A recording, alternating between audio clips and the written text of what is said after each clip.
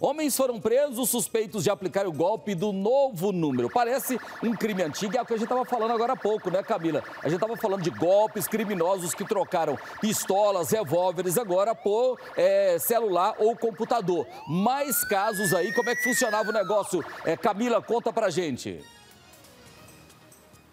Pois é, eu estava inclusive conversando aqui com o delegado William Bretz, que também é da DEIC, sobre essa questão, né? Que ah, antigamente essa prática né, do roubo, às vezes a engenharia social do criminoso demorava um dia ali para ele obter aquela vantagem, né? Sobre aquela pessoa que ele estava assaltando. E hoje, no crime virtual, ele consegue ter uma abrangência de vítimas muito grande, inclusive não precisando ser do próprio estado de onde ele está. Inclusive é esse o caso que a gente vai trazer aqui agora, né? Três pessoas foram presas, dois homens e uma mulher, porque eles estavam aplicando o golpe do novo número numa vítima do Rio de Janeiro. Quase 5 mil reais esse homem teve de prejuízo. Delegado, essa situação? Boa tarde para o senhor. Boa tarde, boa tarde, Loares.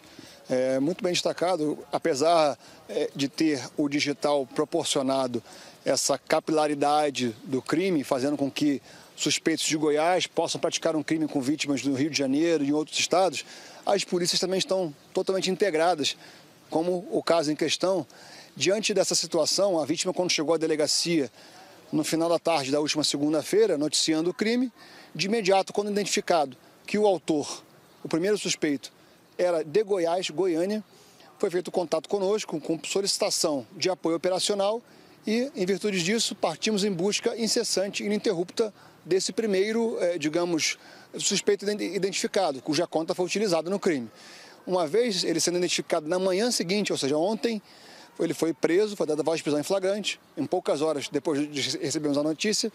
E ele, conduzido à delegacia, confessou a prática criminosa, confessou saber, sim, ter vendido a conta para fins ilícitos e também indicou tê-la vendido para um casal também de Goiânia. Identificamos o casal, fomos atrás deles, capturamos, prendemos. Igualmente houve a confissão e eles informaram tê-la repassado a um quarto integrante desse grupo criminoso, que ainda não foi identificado, mas a investigação, com a, sua continuidade, revelará, revelará toda a, a, a identidade deste ou de outros também que possam ter participado. Agora, delegado, chama bastante atenção que esse primeiro, que foi identificado por meio da conta, né, que ele disponibilizou a conta, ele disse aqui para a polícia que vendeu a conta por 120 reais. Exato, é, ele vendeu a conta por 120 reais, informou que precisava muito do dinheiro e por isso estava arrependido, apesar de saber que era algo para algo ilícito e se tratava de uma ação fraudulenta, ele, diante da necessidade, tá, se mostrando arrependido, vendeu e confessou a prática e acabou até colaborando com a polícia aqui nesse sentido.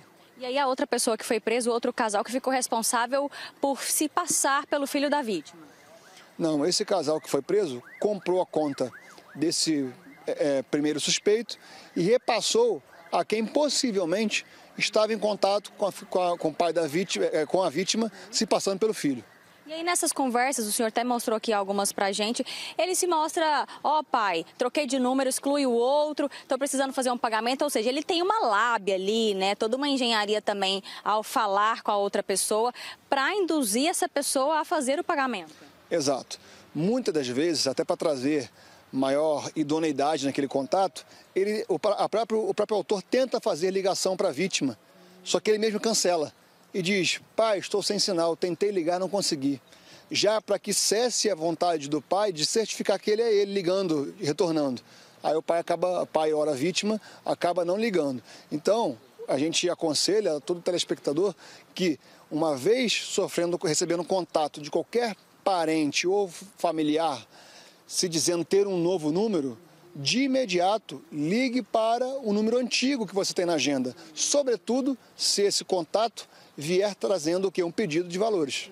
É bom fazer uma ligação, eu costumo dizer, Lores, que inclusive uma ligação de vídeo, né, para confirmar se se trata mesmo daquela pessoa, né, delegada? É, mas se você tentar ligar direto para o suspeito, possivelmente ele vai recusar e vai dizer que não tem sinal, entendeu? E vai tentar te retornar e vai também cancelar a ligação antes que você atenda. E vai dizer, ô, ô pai, ô mãe, eu estou com pouco sinal aqui, não adianta tentar me ligar. Até tentei atender, mas não consegui.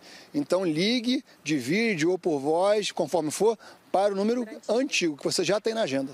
E aí, o também faz parte de, do golpe do novo número, o criminoso utilizar a foto verdadeira da pessoa. E como é que essa pessoa tem acesso a esses dados? Como é que essa pessoa, inclusive, tem acesso a esse telefone também? É, é existe uma compra de dados por trás disso também? Como é que fica essas investigações também para saber como é que esses criminosos conseguem acessar os nossos telefones? Bom, é, não é novidade na imprensa nacional que há vazamento de dados, que há comercialização de bancos de dados, é, é, algumas vezes até com intuito lícito com relação à proteção de crédito, algo assim, mas há um desvio desses dados, eventualmente, para fins criminosos.